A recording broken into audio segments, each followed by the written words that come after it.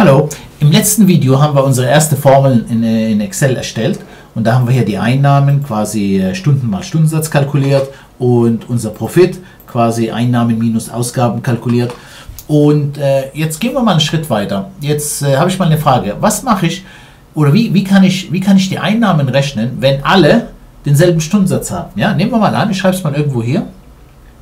Nehmen wir mal an, äh, alle, ups, Alle haben denselben Stundensatz und der ist 50.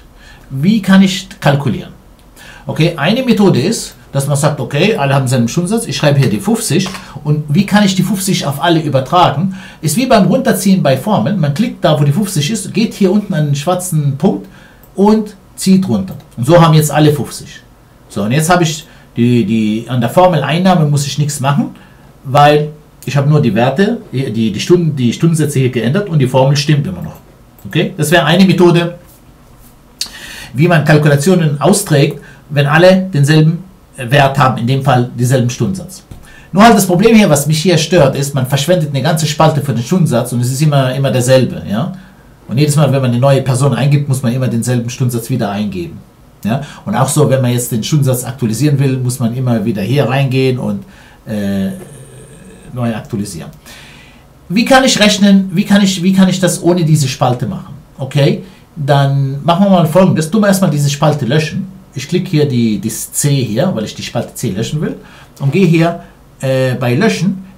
Kann ich entweder so gleich auf Löschen gehen oder ich wähle Zeilen löschen oder ähm, äh, äh, Blattspalten löschen. Ja, ist egal. Ja, also ein, drei Methoden. Entweder gleich auf das Löschen, Zellen löschen oder Blattspalten löschen. Ich gehe mal auf Zellen löschen. So, dann habe ich das weg.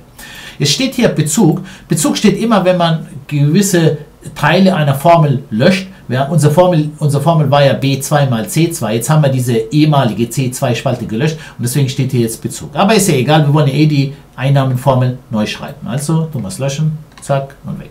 Okay, also, eine zweite Methode, wie man die Einnahmen kalkulieren äh, kann, wenn alle denselben Stundensatz haben, ist, man kann so machen.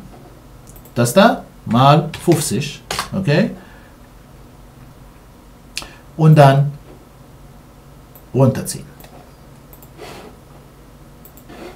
Jetzt die Kalkulation hier ist voll in Ordnung, nur halt, was mich stört, man hat die 50, diesen Wert in der Formel und ich habe es im letzten Video erwähnt, man soll in seiner Excel-Formel, soll man Werte vermeiden. Man soll immer Zellbezüge benutzen. Warum? Weil, nehmen wir an, der Stundensatz ändert sich jetzt, zum, zum Beispiel zu 45 oder 55 oder was immer, dann muss man in der Formel reingehen, diesen Wert ändern und erneut alles runterziehen.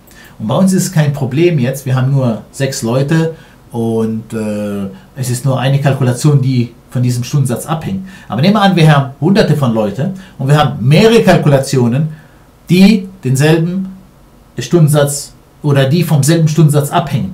Okay? Dann müsste ich in all den Kalkulationen das all immer updaten, ändern und dann runterziehen. Und das und dann ein weiteres Problem ist, was ist, wenn ich mich nicht mehr erinnere, welche Kalkulationen von dem Stundensatz abhängen? Ja, deswegen haben wir hier das Problem, dass dass, äh, das Werte, wenn man Werte in Formeln eingibt, hat man ein Riesenproblem, wenn sich diese Werte ändern. Okay? Deswegen ist das zwar, die Kalkulation stimmt hier, aber das ist keine Lösung. Eine dritte Möglichkeit ist, dass man diesen Wert, der für alle gilt, den legt man irgendwo ab in einer Zelle, wie jetzt hier. Ich den, der Stundensatz gilt ja für alle, der ist ja derselbe für alle. Das heißt, ich lege ihn hier irgendwo ab, hier in dem Fall jetzt in der Zelle K2 und benutze dann diesen Zeltbezug in meiner Formel. Okay, also das heißt, ich gehe dann so, ist gleich Stunden mal dieser Stundensatz. Okay, und dann ziehe ich runter. So, und da haben wir jetzt unser Problem. Die erste Formel stimmt, das ist B2 mal K2, aber die zweite Formel zeigt 0. Warum? Weil aus der B2 ist eine B3 geworden, das stimmt, weil den seine Stunden sind hier in der B3, aber aus der K2 ist auch eine K3 geworden und in der K3 steht gar nichts. Alle Stundensätze stehen ausschließlich in der K2-Zelle. Okay, und wenn ich jetzt noch eins weiter runter gehe, ist genau dasselbe Problem. Äh, die Stunden stimmen, die sind jetzt in der B4, aber in K4 ist auch wieder nichts. Jetzt kommen wir hier zum, zum, zum Grundproblem. Wie kann ich meine Formel so gestalten, dass das B2, das, das ändert sich ja beim Runterziehen, das wird B3, B4 und so weiter, aber das K2 darf sich nicht ändern. Und da gibt es einen kleinen Kniff, was man da machen muss. Und zwar, ich schreibe die Formel nochmal neu. Also B2 mal K2. Jetzt, die, man muss sich immer so fragen, gilt dieser Stundensatz für alle? Ja, wenn er so, wenn das so ist, dann, nachdem ich die Zelle anklickt habe, klicke ich äh, oder drücke ich auf die F4-Taste auf meiner Tastatur. Okay, F4, zack. Und jetzt habe ich so, solche Dollarzeichen. Diese Dollarzeichen zeigen, dass diese Zelle wird sich beim Runterziehen nicht ändern. Ja, sie bleibt auf K2. Das ist, was die Dollarzeichen äh, zeigen. Und, und so, so eine Zelle mit so Dollarzeichen nennt man eine absolute Zellbezug. Das heißt, weil dieser absolute Zellbezug wird sich beim Runterziehen nicht ändern. Diese normale Zelle ohne diese Dollarzeichen nennt man relativer Zellbezug und die wird sich beim Runterziehen ändern, wie wir es ja gewohnt sind. Okay? Mache ich Return und dann ziehe ich runter. So sieht man jetzt B2, ich klicke mal hier rein, sieht man B2 mal K2, das ist okay. Gehen wir in den nächsten. Hier auch jetzt B3, denn seine Stunden sind B3, aber es ist immer noch, bezieht sich immer noch auf die K2, die, der Stundensatz. Okay, gehen wir nochmal eins runter. Die Stunden jetzt beziehen sich von der B4, aber der Stundensatz ist immer noch K2. Und das ist der Effekt von diesen Dollarzeichen. Okay? Und diese Dollarzeichen kriegt man, indem man die Taste anklickt und dann F4. Ich mache die Formel nochmal. So, also das heißt, so geht man jetzt vor, ganz normal, ist gleich. Dann klickt man die Stunden in dem Fall. Gelten die Stunden für alle? Nein, den seine Stunden, also die B2 sind nur die Stunden vom Braun. Die haben nichts mit der anderen zu tun. Also macht man hier an der Zelle gar nichts, geht dann weiter mit der Formel, mal. Jetzt klickt man den Stundensatz. Gilt dieser Stundensatz für alle? Ja, er gilt für alle. Also F4 drücken. Zack. Und so hat man jetzt die Formel fertig. Ich bin mit der Formel fertig. Return. Gehe wieder rein in der Formel und ziehe sie dann oder übertrage sie auf die anderen weiter. Okay? Wir können das genau dasselbe mit der Ausgaben machen. Löschen wir mal die, die Spalte Ausgaben. Und ich gebe die Ausgaben hier. Alle haben jetzt dieselben Ausgaben. Ausgaben.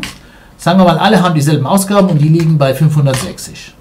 Okay, mache ich die alte Profitformel weg. Jetzt, wie ist der Profit? Profit ist immer noch Einnahmen minus Ausgaben. Also ist gleich Einnahmen Gelten die Einnahmen für alle? Nein, das sind nur die Einnahmen von Braun. Also gut. Minus Ausgaben. Gelten diese Ausgaben für alle? Jawohl. Also F4 noch dazu. So, und dann ist die Formel fertig. Return.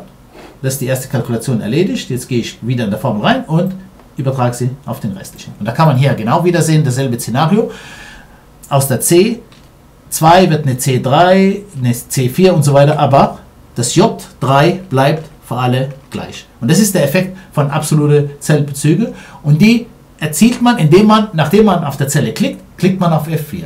Und so rechnet man mit Werte, die für alle gelten und nie den Wert in der Formel reinschreiben.